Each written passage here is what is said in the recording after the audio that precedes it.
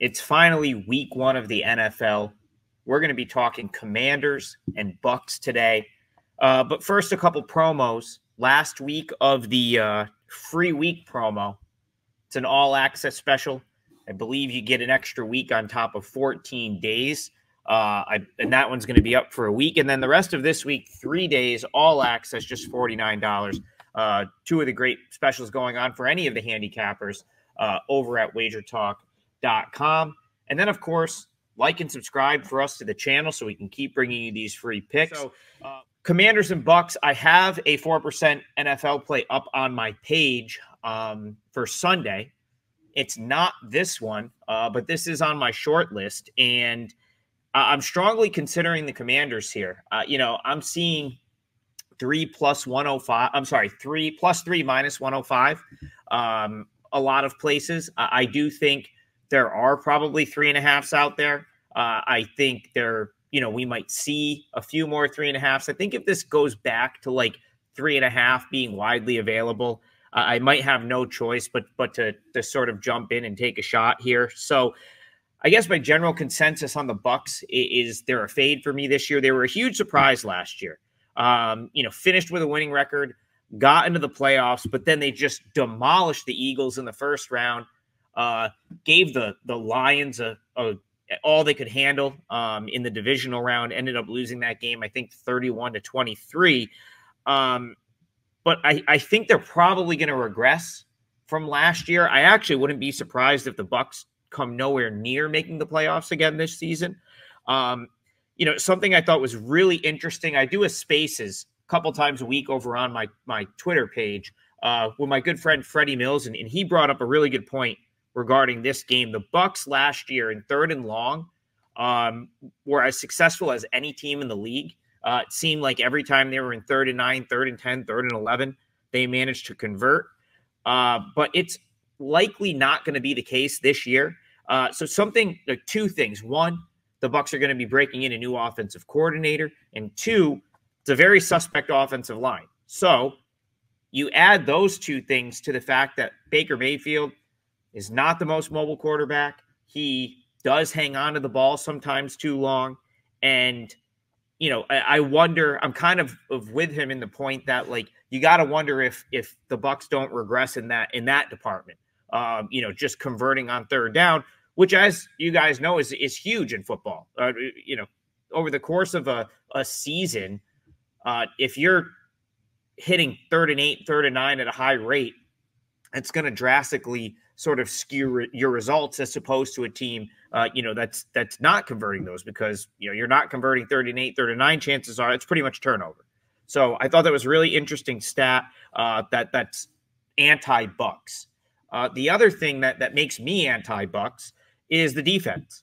Uh, you lose Shaq Barrett to retirement. You lose Devin White to, to the Eagles.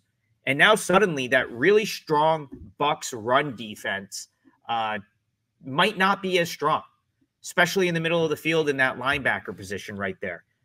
And that probably means that the secondary is exposed. Now, this Buck secondary wasn't great last year, but their front seven bailed them out in a lot of cases, um, allowed them to, you know, sort of cheat in places because they were so good against stopping the run, containing mobile quarterbacks, so on and so forth. And and if that doesn't happen this year, which is very possible, um, it, it, all could sort of unravel for them.